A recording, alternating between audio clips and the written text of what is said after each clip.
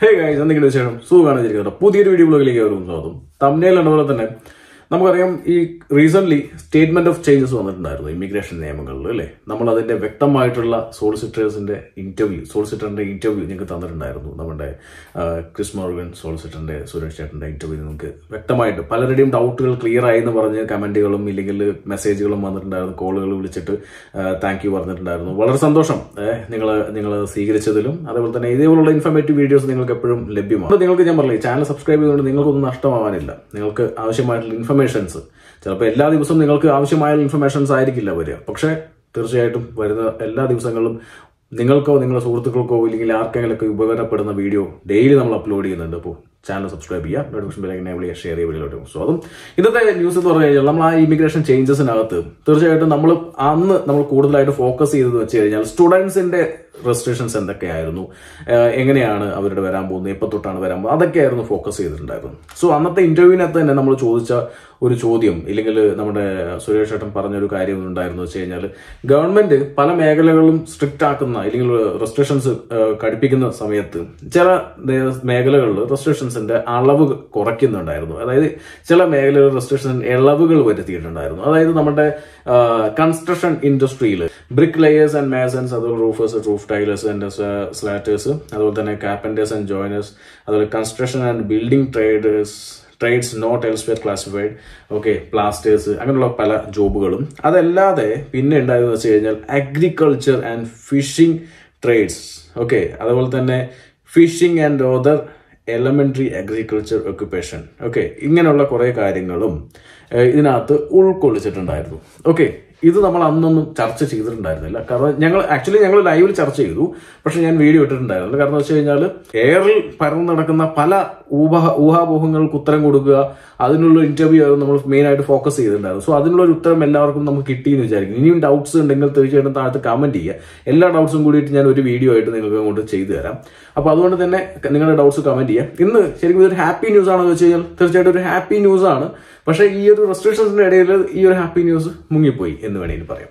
Okay ഇത് ശരിക്കും പറഞ്ഞാൽ ഇത്രയും ട്രേഡ്സ് ഇത്രയും ട്രേഡ്സ് നമുക്കറിയാം ഈ പറഞ്ഞ രാജ്യത്തിൽ ഉള്ള സ്റ്റുഡൻസിന് ഇല്ലെങ്കിൽ ഇവിടെയുള്ള ഡിപ്പെൻഡൻസിന് ഇതൊക്കെ ജോലി അറിയുന്നവർക്ക് തീർച്ചയായിട്ടും ഇനി വരുന്ന സമയങ്ങളിൽ ഒരു ഓപ്പർച്യൂണിറ്റി ആവും. ഷോർട്ടേജ് ഒക്കുപേഷൻ ലിസ്റ്റിലോട്ട് ആഡ് ചെയ്തു.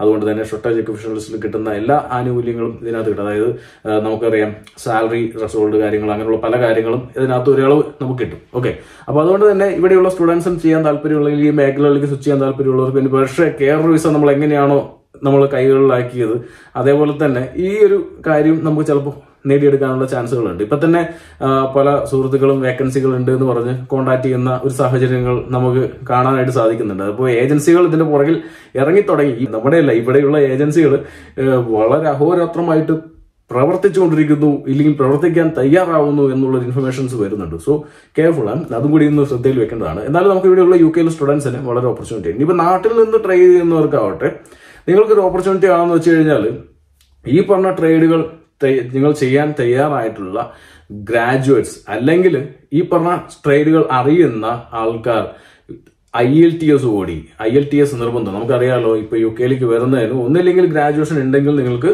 എന്താ നിങ്ങൾക്ക് യു കെനാർക്ക് ചെയ്തു വരാം.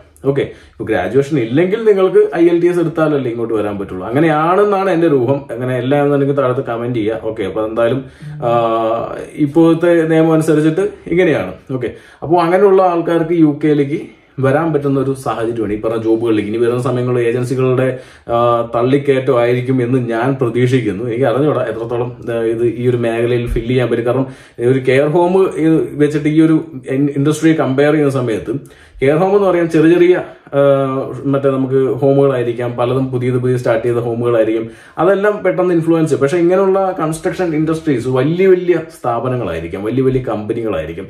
അവിടെയൊക്കെ ഒരു ഇൻഫ്ലുവൻസ് ചെയ്യണമെന്നുണ്ടെങ്കിൽ അത്യാവശ്യം കുറച്ച് ടൈം പിടിക്കും. പിന്നെ അത് മാത്രമല്ല ഇൻഡിപെൻഡന്റ് ആയിട്ട് വർക്ക് ചെയ്യുന്ന ചില ചില കമ്പനികളുണ്ട് ചെറിയ ചെറിയ കമ്പനികൾ ഒരു പക്ഷെ അവിടേക്കൊക്കെ ചിലപ്പോൾ ആൾക്കാരെ കൊണ്ടുവരാൻ പറ്റിയെന്നൊക്കെ.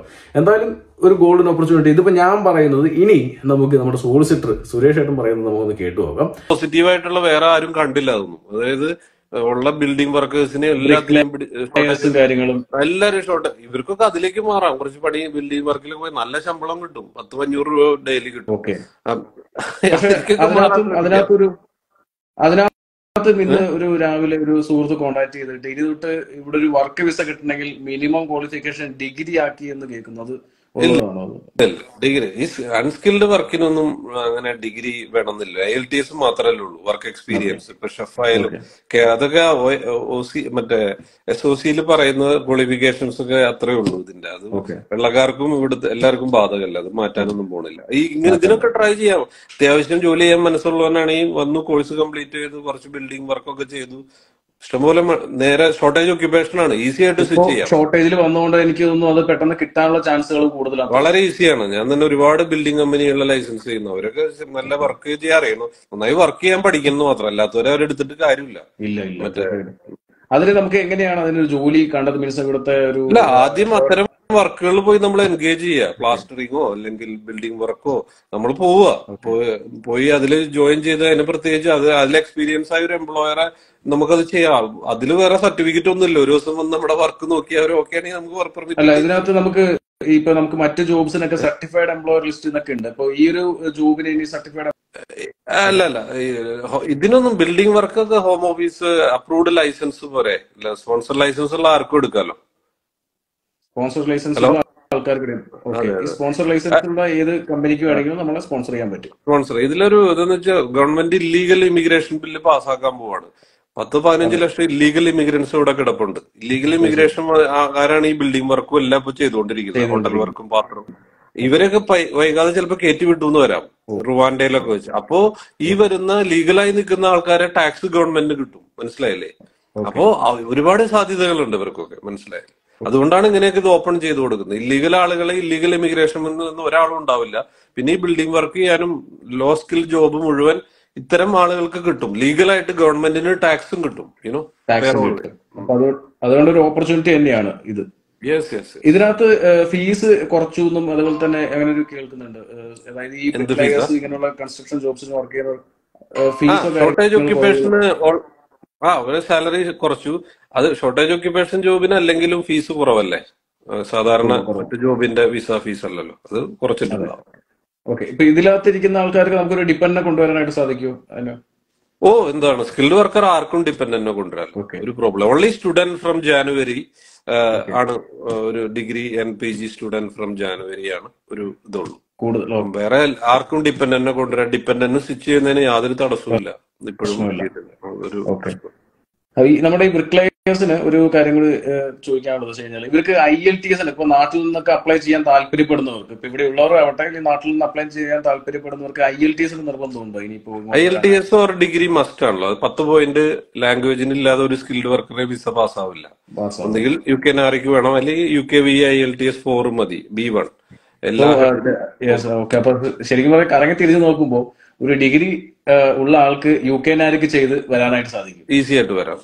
അത് അല്ലെങ്കിൽ ഒരു ഐ എൽ ടി എസ് അത്യാവശ്യം എഴുതാനും വായിക്കാനും റീഡ് ചെയ്യാനും ലിസൺ ചെയ്യാനും കഴിവുള്ളവനും വരാം. വരാൻ പറ്റും. ഓക്കെ അത് വലിയൊരു ശരിക്കും പറഞ്ഞാൽ ഒരു ഈ കേരള വിസയൊക്കെ വന്ന പോലെ തന്നെ ഒരു ബ്രേക്ക് ത്രൂ അതെ ഈ യൂറോപ്യൻ നമ്മൾ മാത്രമാണ് ഈ കേരള വിസയിൽ കിടന്ന് ഇങ്ങനെ കറങ്ങുന്നത്. മറ്റ് ഗുജറാത്തികളും പഞ്ചാബികളൊക്കെ ഒരുപാട് പേര് വേറെ വിസകളിൽ വരുന്നുണ്ട്. അത് നല്ല അതൊക്കെ നല്ല പൈസ കിട്ടുന്ന ജോലിയാണ്. ഇലക്ട്രീഷ്യൻ പ്ലംബർ നമ്മുടെ കേരള തീർച്ചയായിട്ടും. ഇവിടെ തന്നെ നമ്മൾ വീട്ടിലൊക്കെ വിളിക്കുന്നവർക്ക് മണിക്കൂറിന് എൺപതും തൊണ്ണൂറും പൗണ്ടൊക്കെ വെച്ച് കൊടുക്കുന്ന ഒരു സാഹചര്യം. അതെ അതെ. അവരത് പഠിച്ച് എങ്ങനെയും പി ആർ എത്തിക്കഴിഞ്ഞാൽ അവർക്ക് സ്വന്തം ബിസിനസ്സുകൾ തുടങ്ങാം. പലതും ചെയ്യാമല്ലോ അതെ അതെ. തീർച്ചയായിട്ടും. പിന്നെ ഒരു പോസ്റ്റിംഗ് കൂടി വന്നിരിക്കുന്ന വെച്ച് കഴിഞ്ഞാൽ സ്കിൽഡ് വർക്കേഴ്സിന്റെ സാലറി ത്രഷോൾഡ് മാറുന്ന കാര്യം എങ്ങനെയാണെന്ന് ചോദിക്കാം. അത് ചാൻസ് അത് മാറിയില്ലോ. ഓൾറെഡി മെയിൽ മാറിയല്ലോ. സ്കിൽഡ് വർക്കറുടെ മാറിയല്ലോ. സാലറി അപ്ഗ്രേഡ് ചെയ്തു.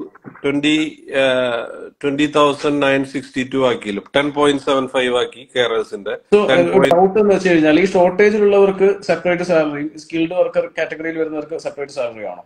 അല്ല നാല് തരത്തിലാണ് ഈ നമ്മൾ വിസ എടുക്കുന്നത്. ഒന്ന് option A option B option C option D. Option D അതായത് ഷോർട്ടേജ് ഒക്യുപ്പേഷനിലുള്ളവർക്ക് കുറഞ്ഞ സാലറി കൊടുത്താൽ മതി എന്നുള്ളതാണ്. ഓക്കെ. അതല്ല ഷോർട്ടേജ് ഒക്യുപ്പേഷൻ അല്ലാത്ത ആളുകളുടെ സാലറി ത്രഷോൾഡ് ഹൈ ആയിരിക്കും. ഇപ്പോ ഒരു ഹോട്ടലിലെ മാനേജറെ സാലറി ഷോർട്ടേജ് ഒക്യുപ്പേഷൻ അല്ലാത്തതുകൊണ്ട് twenty six thousand five hundred കൊടുത്തേ കൊണ്ടുവരാൻ പറ്റുള്ളൂ. ഓക്കെ? അത് ഷോർട്ടേജ് ഓക്യുപ്പേഷൻ ജോബ് അല്ല. അത് നാളെ ഷോർട്ടേജ് ഓക്യുപ്പേഷനിലായാൽ ട്വന്റി വൺ തൗസൻഡിൽ നമുക്ക് കൊണ്ടുവരാൻ പറ്റും. അത് ഓപ്ഷൻ ഡി ഷോർട്ടേജ് ഓക്യുപ്പേഷൻ ജോബിലേക്ക് വരണം. അല്ലെങ്കിൽ ന്യൂ എൻട്രന്റ് എന്ന് പറയുന്ന വേറെ കാറ്റഗറി ഉണ്ട് അണ്ടർ ട്വന്റി സിക്സ് ഏജ് അങ്ങനെ ചില ക്രൈറ്റീരിയാസ് ഉണ്ട്.